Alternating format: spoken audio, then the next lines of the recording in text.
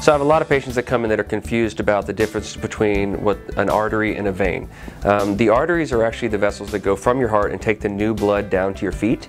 Um, the arteries have muscles in the wall of the artery so they can expand and contract um, to control your blood pressure and, to and make sure that you have continuous flow of blood from your heart down to your legs. The arteries are what get uh, blocked up with things like high cholesterol, smoking, diabetes, high blood pressure, and they can cause something called peripheral arterial disease.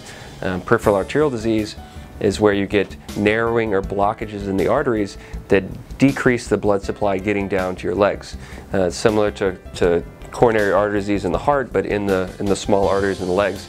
The symptoms you can get from that um, are cramping, burning pain whenever you walk that's relieved with rest. Um, sometimes it can start high up in the thigh in the buttock area or maybe down in the calf. Um, typically I'll ask patients how far they can walk. Some will say they can walk a mile or two before it begins to burn. Some patients can't uh, walk more than you know, to the mailbox or a block or so and that means that it's a little bit more extensive.